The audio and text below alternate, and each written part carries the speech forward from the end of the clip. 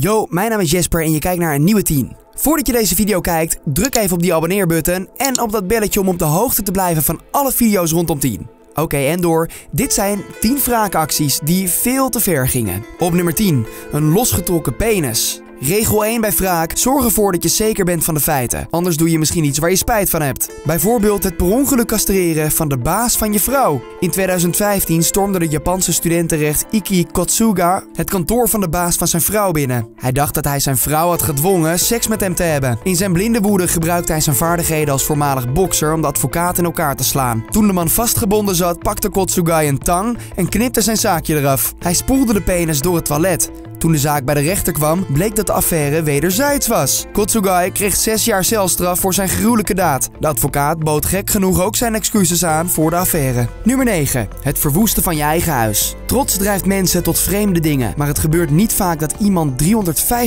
350.000 dollar verbrandt. Na de financiële crisis in 2008 had Terry Hoskins het net als duizenden andere kleine ondernemers niet makkelijk. Hij moest zelf zijn eigen huis verkopen om zijn hoofd boven water te houden. Maar helaas voor Terry had de bank besloten dat het een beter besluit was om beslag te leggen op het huis dan de 160.000 dollar te innen die hij zou hebben verdiend. En dat was minder dan de helft van de waarde van het huis. Maar hij wilde niet dat zijn huis in beslag zou worden genomen. En dus stapte Terry in een van de bulldozers van zijn bedrijf en reed hij op het huis in. Toch loste dit de geldproblemen van Terry niet op. Sterker nog, het tegenovergestelde gebeurde. Hij hield nog steeds de overwaarde op het huis, om nog maar niet te beginnen over de schuld van de zaak. En hij riskeerde hier ook nog eens een celstraf mee. Nummer 8. Valse terreurdreiging. Het gebeurt niet vaak dat na vier dagen daten er al een trip naar Guantanamo geboekt wordt. Dus wees maar blij als je weer eens een ongemakkelijke Tinder date hebt. De Californische vrouw Lisette Sariol bracht in 2011 een paar dagen door met Adnan Mansouri, een Fransman op vakantie. Maar Sariol begon vlak voor zijn vlucht naar huis dreigende berichtjes naar hem en zijn vrienden te sturen. Hij verwijderde haar op Facebook, dus belde ze United Airlines op en vertelde hen dat er een potentiële terrorist naar Parijs zou vliegen. Ze stuurde hem op voorhand een sms met de tekst: Je hoeft niet eens te proberen om in het vliegtuig te stappen.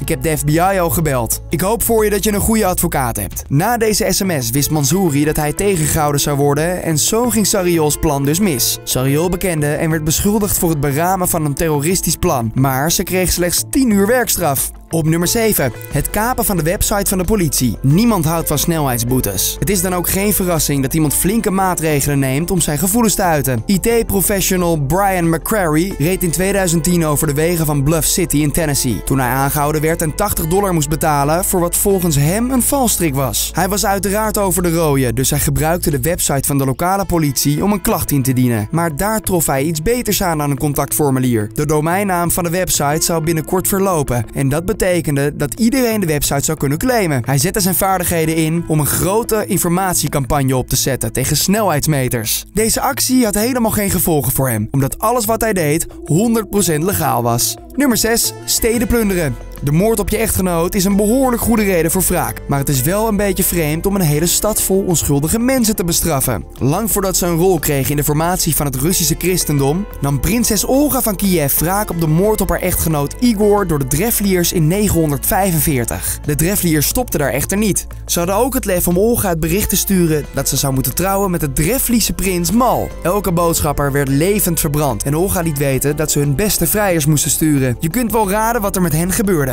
Daarna reisde Olga af naar Dereva om met de Drevliers te eten en te drinken. En toen deze eenmaal dronken waren, slachtte Olga ook deze mannen af. De ultieme wraak liet Olga een vogel naar elk huis in de hoofdstad vliegen. Ze hadden elk brandende stof aan hun poten. En zo ging de stad in vlammen op. Op nummer 5. Duel tot de dood. Ondanks alle gebreken in de Amerikaanse politiek mag je blij zijn dat de politici elkaar nog net niet afmaken. Het gebeurde namelijk wel in de 19e eeuw. Vicepresident Aaron Burr had al lang problemen met de voormalig financieel secretaris Alexander Hamilton. Decennia lang wisselden de mannen openlijk woorden. En dat leidde uiteindelijk tot Burrs beschuldiging dat Hamilton zou hebben gezorgd voor het verlies in New York. En terwijl de aftredende vicepresident redenen zocht voor ruzie, hadden de kranten inmiddels het bewijs gevonden dat de uitspraken van Hamilton niet waar waren. Er werd zelfs gesproken van corruptie. Met deze terechtstelling riep Burr een duel uit. Met andere woorden, een ingewikkeld vuurgevecht. Er waren brieven, regels, nog meer brieven en uiteindelijk kogels. Deze duels waren niet vreemd. Het was zelfs Hamiltons tiende. Maar opgelaten door woede stond Burr erop dat het doorging. Ondanks dat het illegaal en sociaal niet acceptabel was. Hamilton gehoorzaamde en bereidde zich voor. Dus op 18 juli 1804 boorde Burr een kogel door de rug van zijn vijand, die Hamilton uiteraard niet overleefde.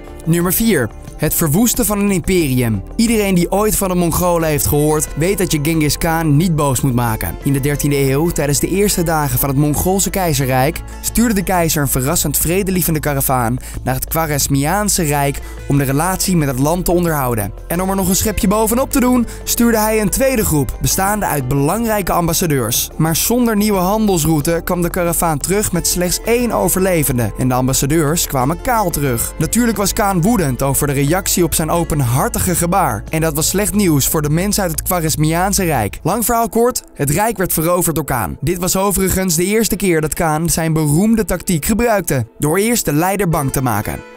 Nummer 3. De moord op Travis Alexander. Je wraakactie gaat toch wel erg ver als je de internationale pers haalt. Zeker als het gaat over je vonnis voor een bloedige moord. Jody Arias ontmoette Travis Alexander op een conferentie in september 2006. Toen ze een knipperlichtrelatie begonnen met meer dan 82.000 mailtjes over en weer. Het hoogtepunt was in juni 2008. Toen Jody na een aantal seksueel getinte foto's 27 keer Travis met een mes stak. Hem door het hoofd schoot en hem van oor tot oor de keel doorsneed. Jody stelde dat de moord een handeling uit zelfverdediging was. Maar uiteindelijk kreeg ze levenslang in 2015. Op nummer 2. Moord door vliegtuigcrash. Op 1 juli 2002 botste een passagiersvliegtuig van Bashkirian Airlines met een goederenvliegtuig boven Duitsland. Hierbij kwamen 71 mensen om het leven. Onder hen waren dat de vrouw en kinderen van Vitali Kaloyev. De Russische architect bedacht een plot om de man die verantwoordelijk was te vermoorden. Hij ging om met de Zwitserse luchtverkeersleider Peter Nielsen. Kaloyev geloofde dat Nielsen gefaald had in zijn plicht om de vliegtuigen te beschermen. Maar het bleek achteraf dat het radarsysteem stuk was, maar dat niemand dat aan Nielsen had verteld. Twee jaar later vond Kaloyev Nielsen in zijn huis in Zurich en stak voor zijn eigen ogen zijn gezin dood. Hij kreeg acht jaar gevangenisstraf, terwijl de Zwitserse regering had gepleit voor 12 jaar. Gek genoeg werd Kaloyev onthaald als een held. Hij werd zelfs waarnemend minister van provincie in Noord-Ossetia. En dan op nummer 1 voorbedachte raden overvallen. Simona Sumasar ontmoette Jerry Ramratan in 2006. Jerry beweerde een agent te zijn, maar eigenlijk was hij gewoon een grote CIA-fan. Na jaren van gestrande relaties klaagde Sumasar hem aan voor verkrachting. Toen dat mislukte, probeerde hij van achter de tralies plannen tegen haar te bedenken. Het plan begon door verschillende aanwijzingen in de stad achter te laten. Zoals het aanmoedigen van mensen om te zeggen dat ze de auto met haar kentekenplaat hadden gezien bij plaatsen delict.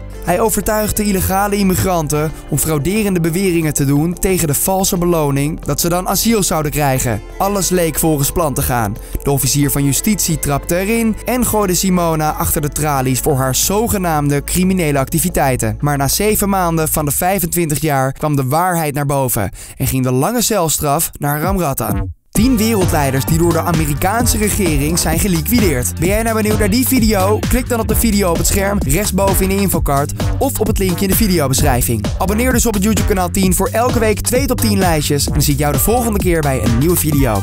Bedankt voor het kijken en tot ziens.